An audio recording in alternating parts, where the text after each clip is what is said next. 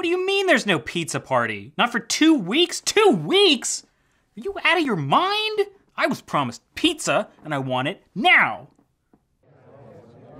And that's when I was like, get out of my house. And they were like, sir, this isn't your house. You're at HEB. And I was like, whatever, that doesn't matter. Hang on a second, some nerd's handing me a note. I'll call you back.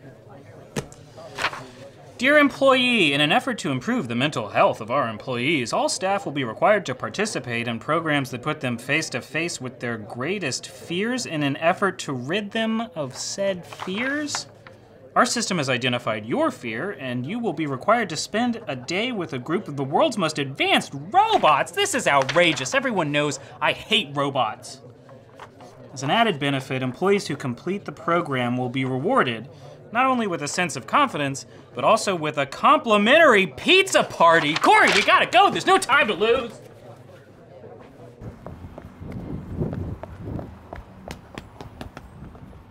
Oh, and this is the hook. And this is for pizza! Woo! Oh.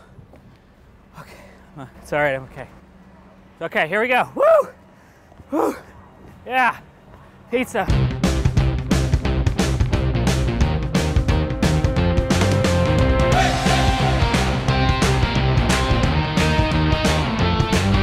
Hey everybody, I'm Andrew Roush, and I love the University of Texas so much that I would even face my deepest, darkest fears for UT. And for pizza. This is also for pizza. Okay. Let's go see these robots. This is for you, pizza.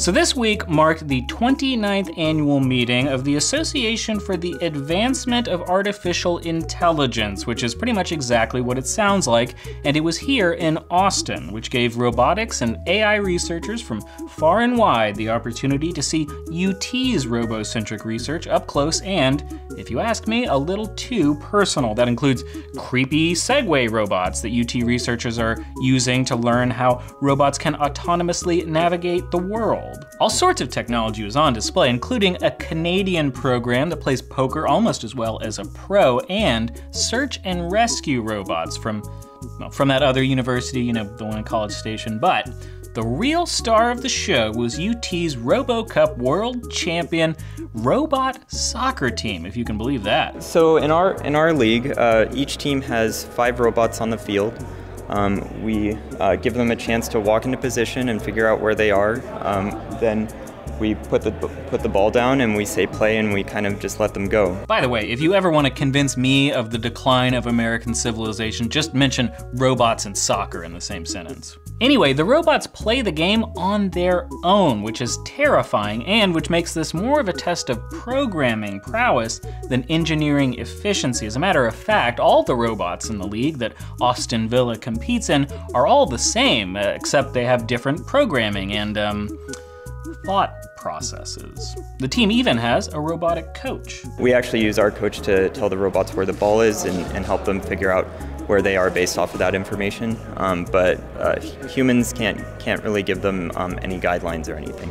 So in 2012, we uh, won won uh, first place. Um, that was that was very exciting. Uh, we generally do do fairly well um, in RoboCup and so uh, it's a it's a fun team to be a part of. Now, of course, I always want to see UT beat the batteries out of the competition.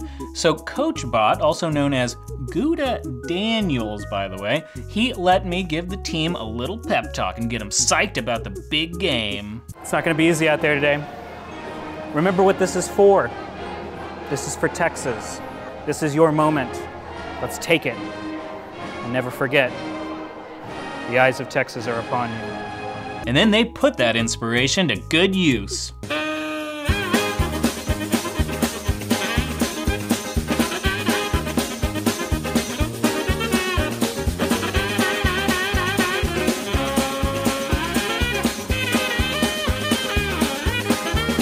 Okay, so they lost that game, but I'm pretty sure they won the series, and I'm pretty sure that though I'll never trust these inorganic killing machines, might just learn to live with them. If you want to learn more about robots for some weird reason, there's a link in the description down below, along with three UT News stories.